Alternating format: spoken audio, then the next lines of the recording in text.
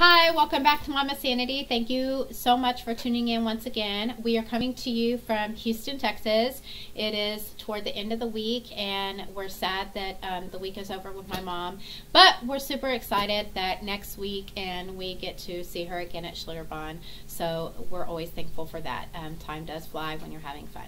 So today I'm going to read you a story, um, and then I'm going to explain after the story why I'm reading it, and then my beautiful daughter Haley is going to tell you about this really hilarious toy that we got for her on her special day and what she created.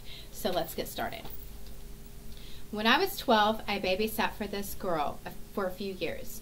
She would come to me and show me her art, drag me by the wrist, and point at the pieces she made during the week.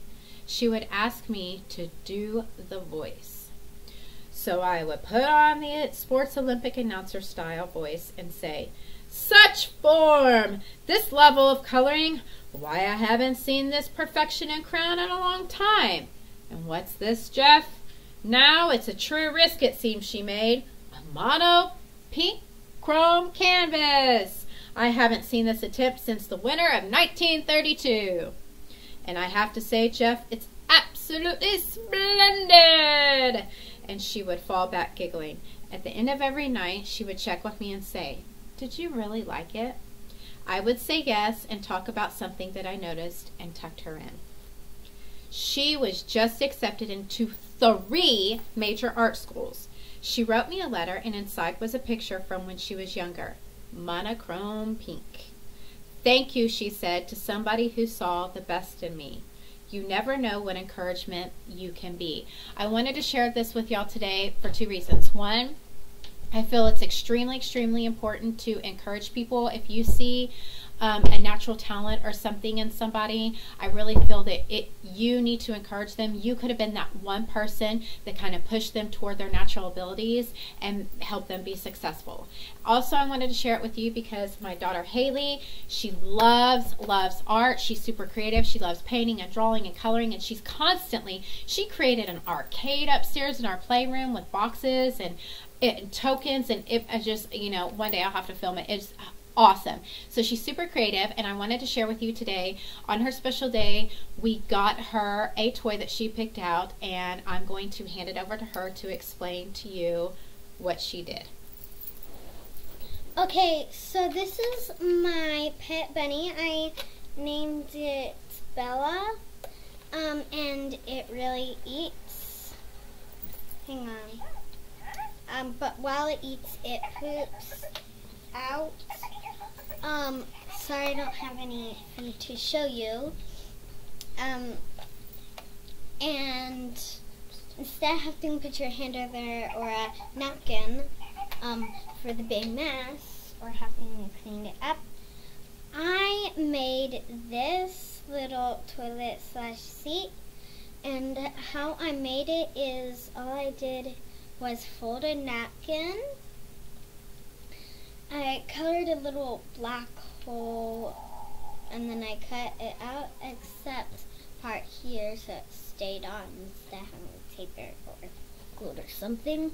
Um, and then since I couldn't find any tape or I couldn't find well yeah I just couldn't find tape um, I just use tacks to hold it and support it to hold this. Um, and and that's all. And I added some design like that's how you flush it, kinda. I made a little thing that doesn't really flush. And then it says on here it says toilet for Bella slash my pet bunny only. And there's an arrow pointing down to here. and then so I can just put the the, the tail um, underneath it and then I'll feed it and then it doesn't make a mess. And whenever and also whenever it fills up all the way to the top of the cup, I can just empty it out in the trash. And that's how you make this.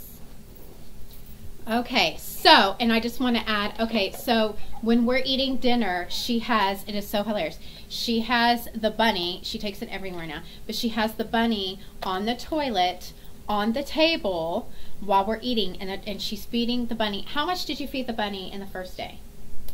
Um, I can't remember, but I remember yesterday morning I fed it like 23 carrots. 23 carrots. Oh my and gosh. it was still hungry. And it was still hungry. It was still begging for food. How does it tell you that it wants more food?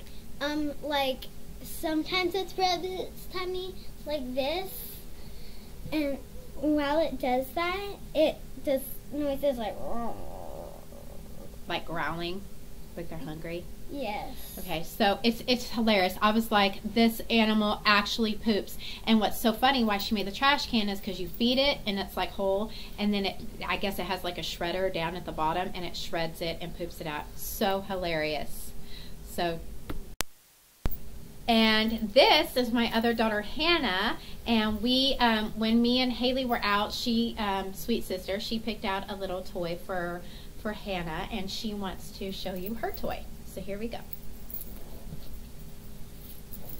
So, um, this is like an angel, and I just like fake let her to eat food, but I'm faking letting her to eat food, but she, but she doesn't poop it out because she, this is just a tag. It's not a tail, and it can play like this. Now I lay me down to sleep. I pray the Lord my soul to keep. Your love be with me through the night, and wake me with morning light. Amen. And it has these little wings and its crown. These little wings show that it could fly and it could visit Jesus. Okay, so she wanted to share you um, with you that little special toy. So I hope y'all have a good week, and until next time, I hope y'all stay safe.